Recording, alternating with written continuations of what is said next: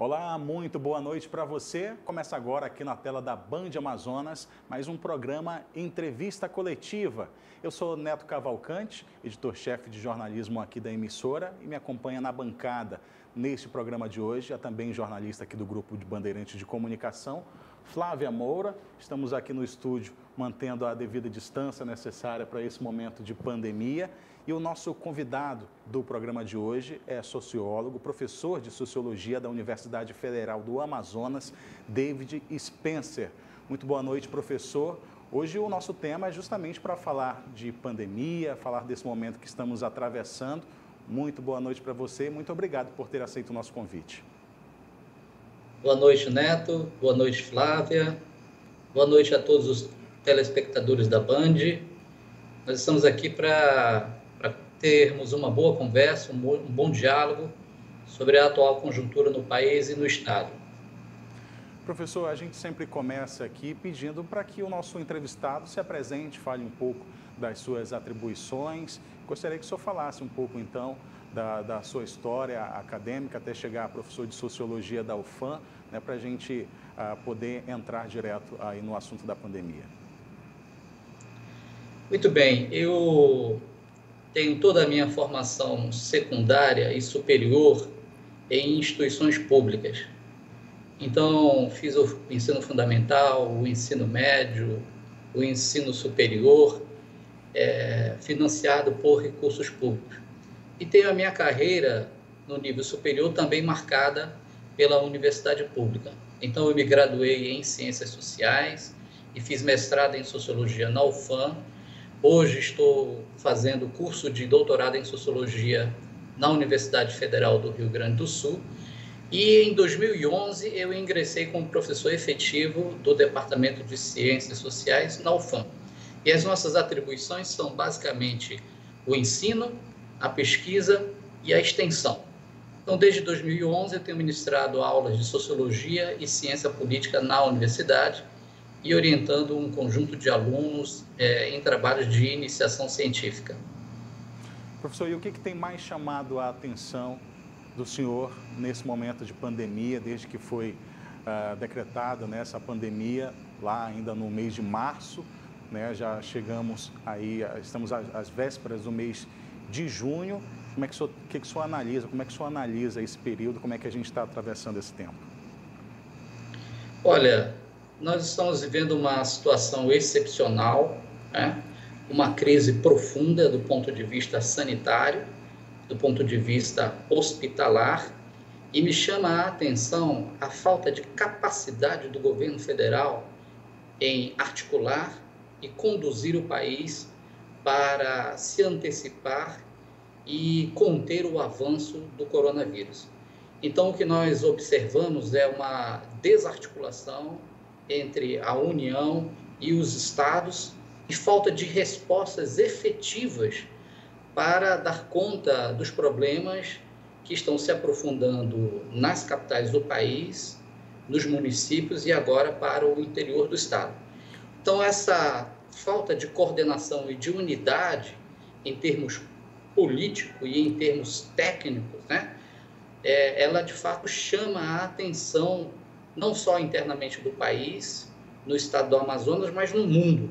Hoje o Brasil está repercutindo nos maiores jornais, na imprensa internacional, em razão das sucessivas crises e substituição de ministros é, no alto escalão do governo. Então, em menos de um mês, o último ministro, por exemplo, pediu a sua exoneração por não concordar com a postura e a opinião do presidente, que se coloca de uma maneira afrontosa em relação à racionalidade científica e à orientação técnico-científica da Organização Mundial da Saúde e do, e do próprio Ministério da Saúde.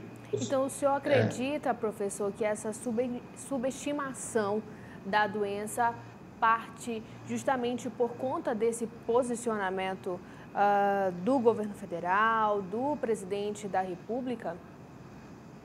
Eu acredito que, por um lado, é, o número de infectados no Brasil, uh, o número de mortes, a alta taxa de letalidade no Brasil e no estado do Amazonas de um lado, tem a ver com a capacidade de dar resposta e de conduzir o país por parte das autoridades públicas. O Brasil demorou para é, montar a sua estrutura técnica e hospitalar, demorou para a, se preparar para a Covid-19. Então, de um lado, a, a, a falta de uma, de uma vontade política, digamos assim, para conter essa epidemia global. De outro lado, a própria população que, é, principalmente no mês de março e, e, até mesmo no mês de abril, estava ainda em busca de informação é, que pudessem orientá-la na contenção do vírus e na sua proteção. Né? Então, inicialmente demora um pouco para a população ela absorver um conjunto de informações, de orientações e ela muitas vezes é desorientada no meio dessa confusão e desse conflito, portanto, dessa crise política que é perene no Brasil. É, e, e, então, esse tem sido, o, é, digamos assim, um retrato né, da situação que nós estamos vivenciando hoje no Brasil e no estado do Amazonas. Mas e aqui no Amazonas, professor? É, o comércio nosso já reabre amanhã. Então, assim, como é que é que o senhor enxerga esse cenário? O senhor acredita que seja é, muito preocupante ou o senhor acredita que é necessário, principalmente nesse momento agora que estamos? Olha, o que levou o estado do Amazonas a ocupar as manchetes da imprensa brasileira e até internacional? Primeiramente, a falta de uma estrutura hospitalar e sanitária. Né? Então, a precariedade dos serviços públicos. De outro, os níveis de desigualdade e de pobreza no estado do Amazonas, que é um dos piores do país. Terceiro, a, o não respeito às normas de distanciamento, de isolamento, da própria quarentena é, necessária para conter o avanço da Covid. Né? e um conjunto de outros fatores que também corroboraram para uh, esses níveis de infecção e, e de mortes no Amazonas. Isso, apesar de um conjunto de informações e de pesquisas desenvolvidas pelas universidades públicas, é, que tem tentado orientar as políticas públicas, a ação governamental. Então, eu considero, neste atual momento, prematuro e preocupante o retorno das atividades comerciais. Por quê? Porque as pesquisas desenvolvidas no âmbito das universidades públicas no Brasil e até por parte de universidades no exterior indicam que ainda não é o momento para flexibilização do distanciamento, do isolamento social, é, dessas medidas de contenção. A única resposta que nós temos efetiva para conter a Covid é, de fato, o isolamento social, o confinamento social. Então, algumas pesquisas, por exemplo, produzidas pela COP no Rio de Janeiro, produzida pela própria Marinha, pela Universidade de Bordeaux, na França, pela Universidade Federal de Pelotas e pela Universidade Federal do Amazonas, particularmente é, conduzidas pelo professor Henrique Pereira, é, é, por meio da, do Atlas do Amazonas, indicam que é, é, ainda não temos, não podemos considerar essa inflexão na curva é, das contaminações como algo efetivo. Nós ainda não temos uma indicação de que vai haver uma estabilização e um controle pleno da Covid. Então, é possível que haja uma segunda onda, digamos assim. É, professor, é, o, então, assim, diante disso, o senhor acha que possivelmente é, o governo estadual sofreu algum tipo de pressão por parte do comércio? O senhor acredita? Olha, as autoridades públicas, é, particularmente os governantes, têm sofrido pressão do empresariado brasileiro, dos comerciantes, né? É, no fundo, no fundo, uma pressão do capital. Ah, ah, o setor empresarial, desde sempre, é, optou por não adotar medidas rígidas de controle social. Então, é, o setor empresarial e comercial sempre bus buscaram é, medidas que conciliassem o enfrentamento da epidemia com a manutenção das atividades econômicas. Mas algo que é extremamente complicado de se realizar. Né? Então, a nível de Brasil, a nível de Estado e dos municípios, prefeitos e governadores vêm recebendo pressão direta né? é, do empresariado de médio e grande porte, até mesmo do pequeno, para que haja uma flexibilização das regras de isolamento e as atividades econômicas e o comércio voltem a funcionar plenamente. Então, desde o início dessa epidemia, nós observamos é, um certo desprezo por parte de alguns empresários e de alguns ditos movimentos, né, que inclusive apoiam o governo, um certo desprezo pela proteção da vida. E parece haver um certa, uma certa calculabilidade é, entre economia e saúde, entre economia e vida. Alguns empresari empresariados brasileiros é, se manifestaram explicitamente pela manutenção das atividades econômicas, ainda que dezenas, centenas de milhares de pessoas pudessem vir a falecer. Né? Então, inicialmente falaram em 7 mil, 10 mil, 14 mil mortos. Né? Grandes empresários chegaram a cogitar isso, é, afirmando que, em relação à necessidade do crescimento econômico, isso não significaria é, muita coisa, né? E que o Brasil ah, e o seu crescimento econômico estaria acima disso. Quer dizer, seria um mal necessário.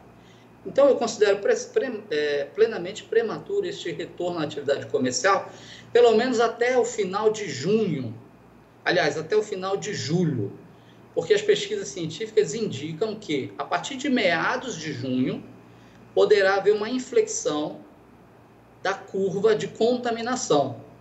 E a partir daí, a partir, por exemplo, o Atlas é, da Universidade Federal do Amazonas fala a partir do dia 21 de junho.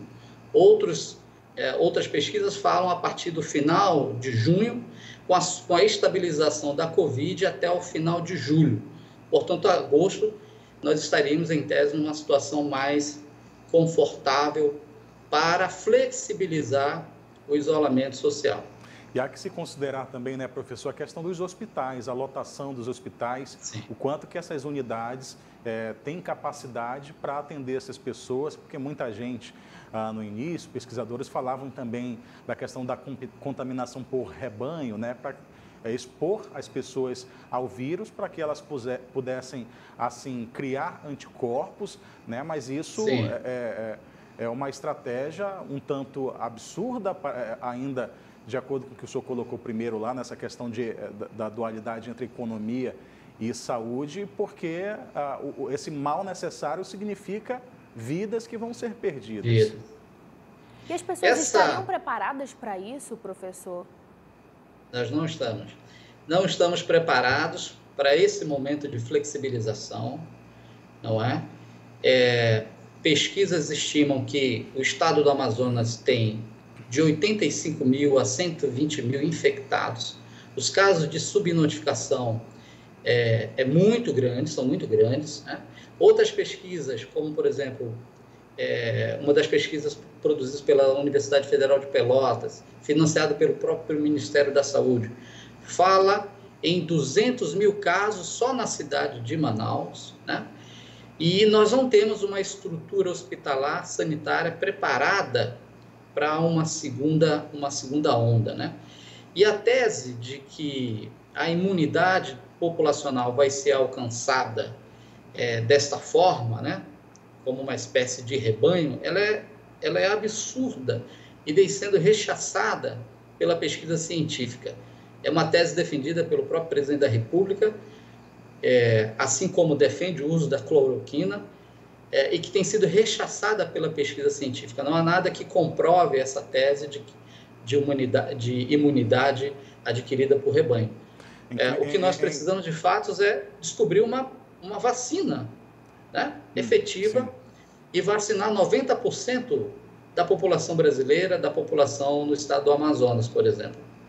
Eu ia dizer que é incrível a capacidade do, do presidente Jair Bolsonaro de se opor ao que a comunidade científica tem colocado né, como as melhores opções para a, a, o enfrentamento desse momento de pandemia.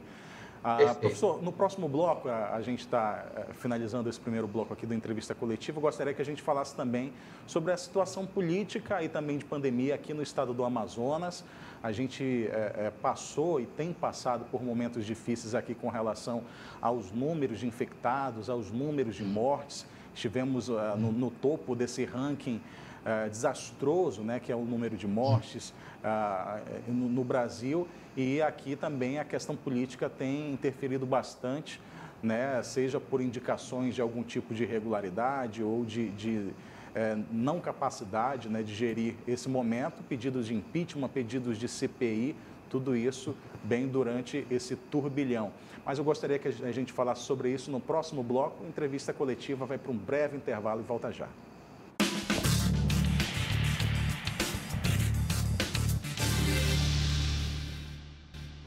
De volta com o programa Entrevista Coletiva, aqui na tela da Band Amazonas, recebendo o professor de Sociologia da UFAM, David Spencer, falando sobre esse momento de pandemia, também situação política no Brasil e no Amazonas. Já falamos bastante da situação aí do governo federal, a situação de Brasília, como é que tem se comportado os nossos governantes, o presidente Jair Bolsonaro, que é totalmente, ele desacredita né, na, no perigo da Covid-19. E aqui no Amazonas, professor, a gente sofre bastante, tem sofrido, e agora esse sofrimento tem se espalhado ainda mais de forma devastadora para o interior do estado. E daí eu gostaria que o senhor falasse um pouco dessa, dessa relação, desse momento aí, pandemia e também essas brigas, motivações políticas, pedido de impeachment, CPI. Como é que o senhor avalia, analisa esse momento aqui no estado? Bem, é, nós estamos vivendo uma crise política é, de proporções nacionais, né? E também com dezenas de pedidos de impeachment do presidente da República em razão de diversos crimes de responsabilidade que, em tese, ele já cometeu, que vai desde o apoio a movimentos e manifestações públicas contra os poderes constituídos, Congresso, STF, até, até interferência na estrutura policial do Estado, que é, no caso, a Polícia Federal, né? e outros possíveis crimes de responsabilidade é, cometidos pelo presidente, inclusive. Ah, é, alguns deles é, manifestos na última reunião do dia 22 de abril. Esta reunião ministerial do dia 22 de abril, ela é a maior expressão do descaso ou da falta de sentido e de, é, digamos assim, uma racionalidade, de um compromisso do presidente da República em conter o avanço da Covid no Brasil proteger vidas, salvar vidas. Nós temos a plena certeza de que muitas das vidas perdidas para a Covid-19 sido salvas se o presidente da República, de fato, tivesse a capacidade... Professor, a, a gente está tendo alguma, alguma interferência no seu áudio? Uh, eu só interrompi aqui para, de repente, voltar ao raciocínio ver se estabiliza também. Estamos com a, a participação do professor David Spencer via remota, ele está em casa e a gente precisa do serviço de internet para que essa nossa conversa flua melhor. Então, o senhor fala ainda da situação a, a, do governo federal, a reunião ministerial, vamos continuar para ver se a gente consegue ouvir o senhor é. melhor. Eu creio que essa reunião ministerial do dia 22 de abril, ela seja a expressão né, é, do que nós estamos vivenciando hoje em termos de uma crise política que tem profundas repercussões aprofundamento da crise sanitária, da crise hospitalar, e na perda de dezenas de milhares de vidas. E no âmbito local, nós também estamos passando, além da crise hospitalar e sanitária, entrando numa crise política, né? com o pedido de impeachment, por exemplo, do governador do atual é, governador. Né? É, é, um pedido aceito pelo presidente da Assembleia Legislativa, que já constituiu uma, uma comissão né, para analisar esse pedido. Olha, é tudo o que nós não desejamos para o país e para o estado do Amazonas nesse momento. Uma crise política né, é, que venha a implicar na perda de milhares de vidas. Nós estamos vendo o problema avançando para o interior do estado e isso certamente trará um reflexo posterior para a, a capital do Amazonas, que concentra pouco mais da metade da, da população do, do Amazonas. Né? Então, é, é, o Brasil é, ele passa por uma turbulência né? política, social, hospitalar e sanitária. É claro que os agentes públicos precisam ser responsabilizados por seus atos. Aliás, o presidente da República tentou, inclusive, por meio de medida provisória, o decreto, é, impedir que os agentes públicos respondessem por, pelos seus atos nesse contexto de pandemia. Mas, ao contrário, os agentes públicos devem ser responsabilizados e devem ser investigados. A conjuntura é extremamente desfavorável e quem vai pagar um preço alto por essa crise política é, é, promovida a nível nacional pelo próprio presidente, pelos seus apoiadores, e aqui no Amazonas por uma, por uma classe política, digamos assim, é, tradicional, né? quem vai pagar o preço alto por isso, por essa disputa política e por essa concorrência, será a população brasileira e a população amazonense.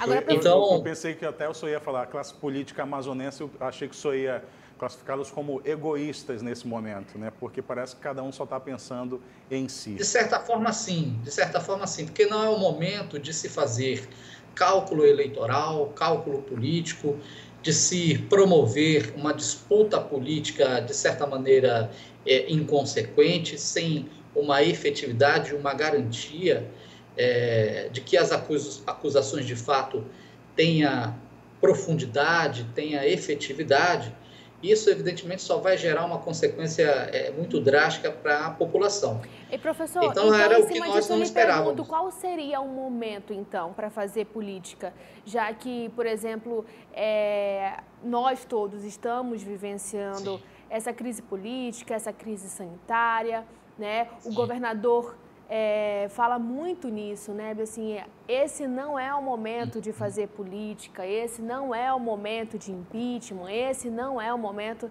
E, e de um outro lado, as pessoas é, indignadas por tal decisão, ou então por tal comportamento, ou então por, por, por, por uma palavra, por uma frase.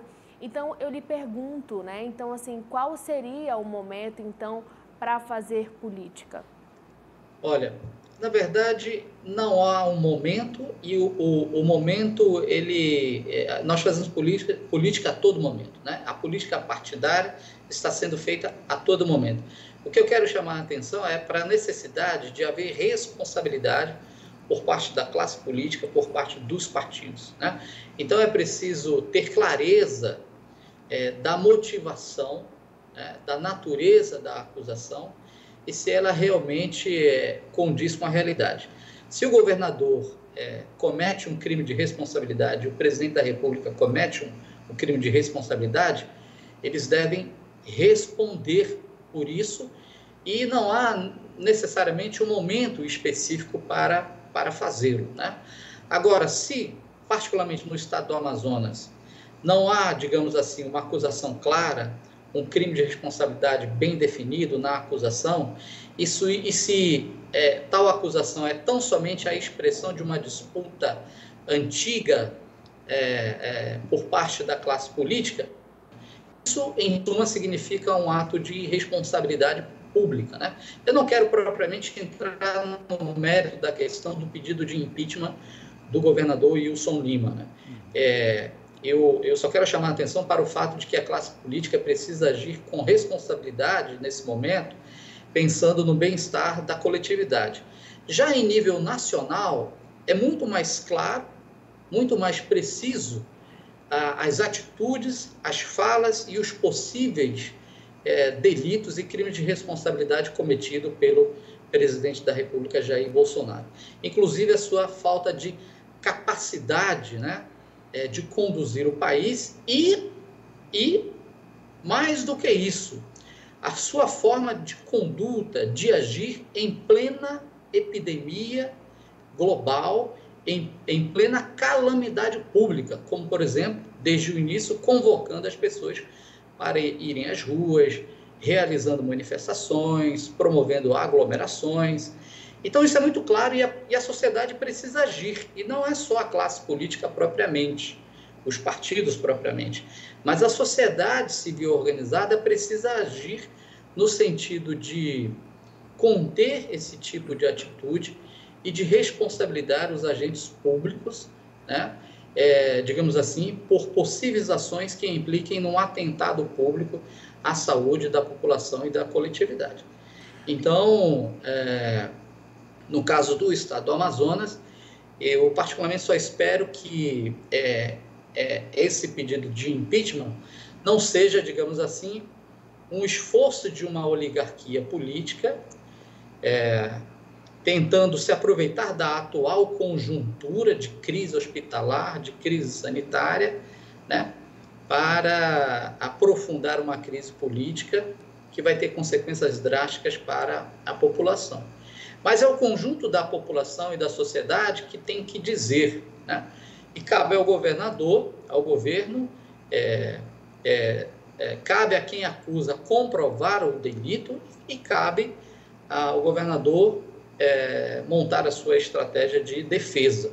E, em último caso, nós temos o, judiciário para se manifestar é, agora, nesse sentido. Agora, David, com relação à população, né, os cidadãos, eles, é, eu não tenho dúvida que eles são também influenciados pelo que falam os políticos, pelo que fala o presidente.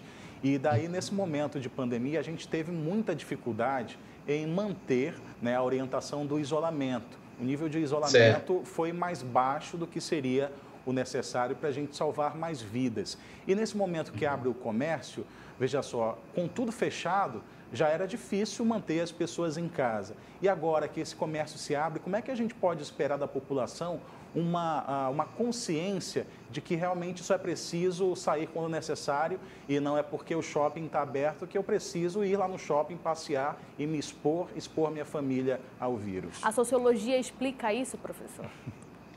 Explica, é, explica muito bem, né? Veja, é, a população é, precisa criar uma consciência, né? uma consciência política, ela precisa é, realizar uma reflexão, precisa ter capacidade de discernimento para tomar suas decisões. Então, independente de governante A, governante B, a própria população precisa agir com autonomia, né? precisa agir de uma maneira consciente, com reflexividade, não cedendo apelos é, de uma liderança política A ou B, não cedendo aos apelos do mercado, do consumismo. Então é preciso, digamos assim, racionalizar esse processo que nós estamos vivenciando. É preciso formar uma opinião com base em boas informações. Né? É, então nós estamos é, vivendo um, uma conjuntura em, em que a produção de fake news, fake news desorienta a população ela coloca a população em risco e interfere na sua tomada de decisão, seja para a escolha política, seja para orientar o seu comportamento, a sua conduta no dia a dia. Então a população ela precisa estar muito atento e muito vigilante. Mas é claro que os governantes precisam agir orientado pelo princípio da responsabilidade pública e da proporcionalidade. Quer dizer, será que essa decisão de flexibilizar o comércio, a economia, ela, ela é proporcional, ela é responsável né, em relação às repercussões que isso terá na vida, na vida social. Então, a, a, O que nós precisamos, de um lado, é de uma população muito atenta, muito vigilante, procurando se orientar com base em informações racionais, técnicas e científicas, e pensar não apenas em si. Né?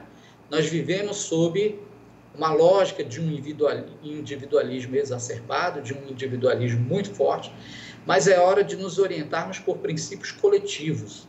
Então é preciso pensar na coletividade, é preciso, pensar nos idosos, nos grupos vulneráveis, é, é, é preciso entender que a, a, nossa vida, na verdade, depende também da vida do outro, da proteção da vida do outro. Né? Nós não estamos isolados é, nesse contexto e nessa atual conjuntura.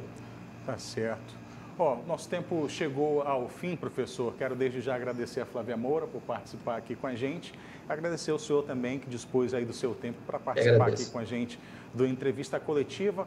Muito obrigado. Infelizmente não tenho tempo nem, professor, para lhe passar a palavra para as considerações finais, mas eu acho que foi dado o recado agora no final com relação a essa consciência que toda a população deve ter com relação ao comportamento durante essa pandemia. Muito obrigado mesmo, viu? E para você de obrigado. casa que ficou acompanhando a gente aqui na entrevista coletiva, muito obrigado. No próximo fim de semana a gente está de volta.